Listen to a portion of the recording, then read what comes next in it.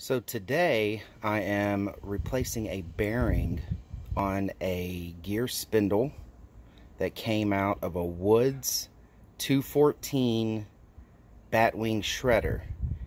And uh, it's got three gearboxes. Uh, the, the central gearbox where the PTO goes into, and then these are the side, like the auxiliary gearboxes that run the, uh, the shredder blades underneath um, on the sides. So anyways, I had a bar, one of the, the bars that go from the center gearbox, the main gearbox to the, I guess, right gearbox, uh, if you're sitting in the tractor. And the bar kept vibrating off, breaking, um, breaking the little clamps that hold the bar in. Well, I took the actual gearbox apart and found that this um, bearing had been busted for quite some time and that these were just uh, the barrels rolling around inside, you know, for this tapered uh, bearing. So these little barrel pieces here were just rolling. The whole metal piece of this was actually all destroyed. Uh, the only thing really left is the race, which is here, which strangely enough isn't too badly destroyed. Um, but you can't reuse it. I can't get this ring off um, off of this race and put it onto here. It's not set up that way. But uh, so I need to get this race for this bearing off of the shaft and, um, and it doesn't want to come off easily. And I don't have a bearing puller, uh, which, you know, I probably could go get. And uh, if you guys have AutoZones anywhere near you, something like that, they'll usually rent the tool for free, as in you, you put a deposit on the tool, you take the tool, and then you uh, you bring it home, do what you need to do, bring it back, get your deposit back. But I don't have any of that right now, so um, I am going to use a Dremel with a tiny cutoff wheel, and my plan is to cut into this race um, on both sides. So cut here, and then on the 180 degrees on the other side, cut it and then uh, get off enough where I can get maybe like a piece of a chisel or something in there, hammer it a couple times, and I'm hoping uh, that I can break the, the remaining metal because I don't want to get the cutoff wheel into the shaft. I don't want it to affect any seals or anything like that. Uh, if I get to that point and it doesn't want to work, then I just have to hold off on the project until I can go and get a bearing puller. But uh, for now, I'm going to uh, go ahead and uh, get that Dremel and uh, try to get this thing off.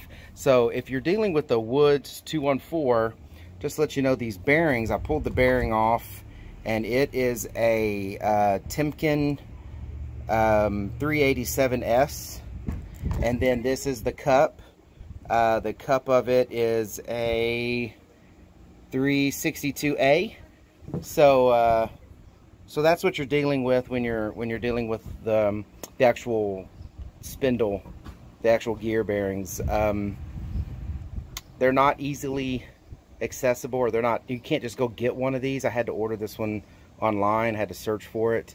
Uh, I went to a couple bearing shops and uh, they didn't have these bearings in stock. So, you know, you may want to search around, um, but typically a bearing, just if you're having to replace a bearing, uh, well, at least with tapered bearings, you'll typically have a cup, and this is your cup, and like I said, if you the cup goes like here's the uh, the actual part that holds the the side of the shaft on. Um, the big rod normally sticks out of here that connects you to the other gearbox. Well, so what goes here is you've got your your seal, your grease seal, and this actual grease seal is pretty good shape, so I don't want to mess it up. I don't know if they've been replaced or what, but they're they're in good shape. And then this is the cup that goes on the tapered bearing. So there's your tapered bearing.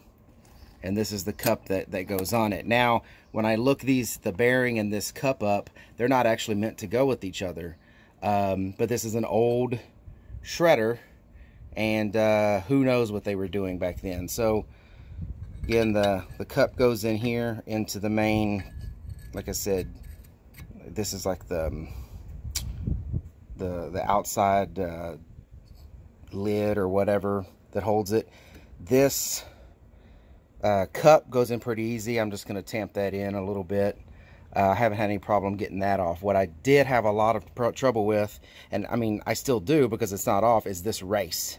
This race is probably hydraulically set, and they probably pressed that on there nice and tight many years ago, and I, uh, I just don't have the equipment with me to take it off. So again, I'm going to try to get a Dremel, cut both sides, and uh, we'll see what happens. I'll be right back. All right, so uh, one, if you've never used a Dremel tool, this is, I mean, that's the name brand Dremel, but uh, I don't know who was the first people to make those, but I just call them Dremels. But uh, it's more of a precision tool, so you've got a cutoff wheel on it, but I mean, these are these are small cutoff wheels meant to do some very precise cuts. And if you'll look here, you can see I did a cut right here. I didn't really cut into the uh, the main spindle there. It's just kind of kind of nicked it as it was coming out, but uh, but it's got a pretty good scar in there, pretty good cut on the bearing. I mean uh, the bearing race there, and did the same thing on this side. As you can see, it's a uh, it's a pretty good cut. Now I'm not going to hold the camera while I'm beating on this, but I'm going to get a uh, a metal chisel, metal punch, and uh, I'm to hammer that a few times and see if I can get it to split. If I can get it to split, then I can get that off and uh, get the new bearing on without much problems. Um, if not, well, we'll go from there. But anyways, I'm to go ahead and try that and I'll be right back. Alright, um, just because it's hard to hold a camera and do this at the same time, one of these days I'm going to learn that I need to go get a tripod to do this. But I was able to succeed with what I needed to do. This was a pretty simple job. Um, like I said, you know, I, I, I cut that with the Dremel. And sadly, like always, this is what's, uh, what's bad about having property at many different locations is I can't even find my punch set. So what did I do? Luckily, Had a bunch of Harbor Freight hammers, which I usually buy a bunch of these, just leave them laying around. So I had two hammers and I had one with a I guess I'm gonna call this a, a closed claw I don't know what that's called an open claw. So instead of a punch I took this hammer which had the this is the rip hammer. Uh, I think that's what they call it. It's got a rip claw. Anyways and I put the rip claw right in the middle of that hole I mean of that cut and then I used the other hammer and just gave it I don't know, two, three whacks probably, nothing more than that. And um, if you'll see, it actually split. It's kind of hard to see, but it cracked it, right? See that cut? It cracked the metal. And I haven't moved it or anything. It already popped off that far. When it split, it just kind of popped off. So, you know, that's probably another advantage of the fact that they had to hydraulically press this on, that there was some pressure buildup on it already.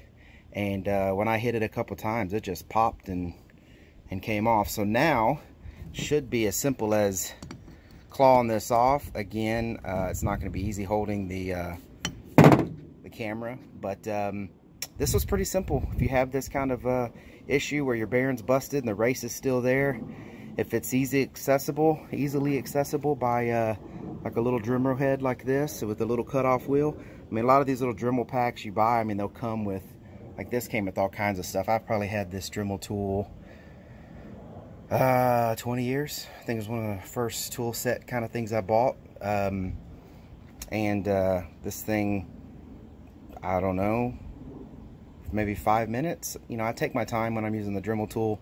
Uh, these, these cutoff wheels are very thin and flimsy. So if you rush it or you push too hard, you'll just uh, bust all your cutoff wheels. But um, you know, if you just give it some some light, even pressure and, and use the, uh, the RPMs up pretty high, it just cuts right through those things. So, uh, yeah, I would say that, you know, this saved me a trip trying to go chase down a bearing puller uh, just to put this on. Now, to put this on, um, I do have a hydraulic press, so that makes it pretty easy. I can just hydraulic press this bearing back on. Um, but really, what you can do as you can just, if you have a piece of pipe or something about this size. Now, there's a lip. As you can see, that race isn't perfectly flat with that. So I definitely would not just go in there start hammering at a bearing or, you know, because you're going to bust that bearing. I mean, these bearings are supposed to be tight. So I would definitely find you something that's either perfectly round around this or to find you a hydraulic press or something of that nature that can push this down. Because if you start hammering on this bearing to uh, to try to get it in there you're just going to be replacing that bearing pretty soon so. Um, but that's it you know if you need to get some leftover bearing race off of a shaft I mean that's uh like I said that didn't take very much at all just a couple hits of a hammer and uh, it's ready to go so uh, anyways I hope this was very helpful and uh, again, if you have a, um, a shredder or any kind of old old piece of equipment that you need, you really you can look on the inside of these bearings if you can get the the race off or if you can find another bearing. And there's part numbers on all of this stuff. So um, so hopefully that'll help you also find uh, what you're looking for. So anyways, I hope this video was helpful. You guys take care. Until next time. And there it is. There's the new bearing installed. And uh, everything's good. I actually used the race that I cut um, as the as the way to hammer this on. I was able to I put it with the the small side down like this, and I used it as the uh, the punch to put it on instead of using my hydraulic press. I mean, it only took me a couple minutes to get that thing hammered down. I uh, I used the old race to hammer it down so that way I knew I was just hitting the race and uh, then of course when that thing's seated all the way down, I uh, just popped that thing back off again. It was already cut. So made it nice and simple. I hope all this stuff helps. I'll take care.